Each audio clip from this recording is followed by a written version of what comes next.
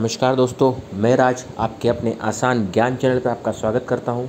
दोस्तों, आज मैं आपको एक बहुत ही इंपॉर्टेंट बहुत ही खास जानकारी देने वाला हूँ कि क्या कभी आपका डेटा आपका पर्सनल डेटा आपका नाम नंबर मोबाइल नंबर आपका एड्रेस आपका ईमेल आईडी आपका ईमेल आईडी का पासवर्ड आपका एटीएम का पिन क्रेडिट कार्ड की डिटेल्स क्या कभी डार्क वेब पर, यानी कि इंटरनेट के एक ऐसे पार्ट जिसको डार्क वेब अब ये क्या होता है डार्क वेब में, मैं आपको बाद में बताऊँगा। मेन चीज़ यही, क्या कभी ये सब चीज़ें आपकी मार्केट में लीक हुई है? क्या ये डेटा आपका हैक हुआ है कभी? ये आप पता कर सकते हैं। इसके लिए गूगल ने एक फ्री फीचर निकाला है अभी। मैं आपको दिखा देता हूँ, कैसे यूज़ करना है। आपका डेटा लीक हुआ है तो कहाँ से हुआ और किस वेबसाइट के थ्रू हुआ है? वो आप एक मिनट में पता कर सकते हैं।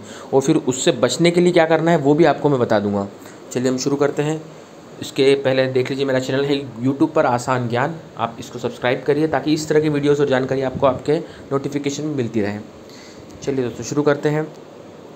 आपको सिर्फ़ गूगल के सर्च बार पर लिखना है one dot Google dot com one dot Google dot com लिखिए।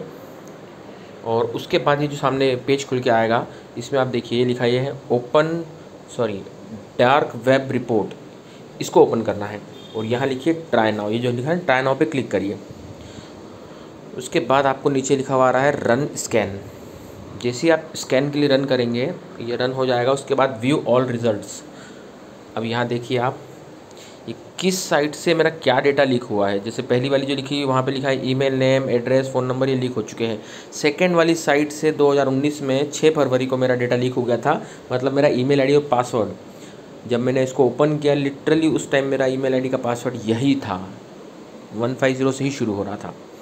तो कहने का मतलब ये है कि आप देख सकते हैं कि किस वेबसाइट से कब आपका डेटा लीक हुआ था। जैसे देखिए, यहाँ रेड बस लिखा है।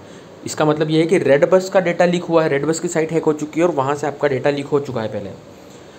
इस तरह से आप देख सकते हैं कि आपका डेटा कब कहाँ से लीक हुआ था। और हुआ था तो अब फ्यूचर में आप क्या करेंगे जिससे कि आपका डेटा लीक ना हो, ये नीचे आपको सजेशन दिए हुए हैं। तो जानकारी कैसी लगी दोस्तों? अगर ये जानकारी आपको अच्छी लगी है तो मेरे चैनल को सब्सक्राइब करिए और वीडियो को लाइक करना मत भूलिए। Thank you so much for watching